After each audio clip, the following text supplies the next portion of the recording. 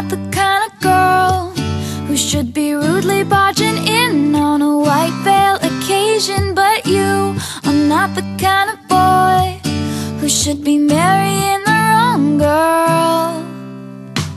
I sneak in and see your friends and her snotty little family all dressed in pastel, and she is yelling at a bridesmaid somewhere back inside a room wearing a gown shaped like street.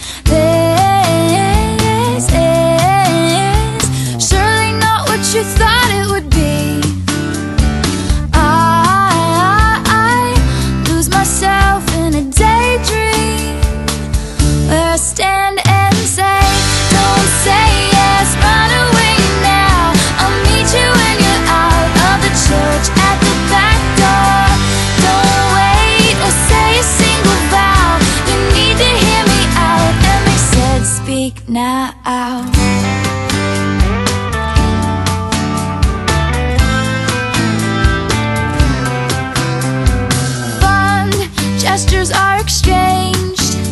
And the organ starts to play a song that sounds like a death march.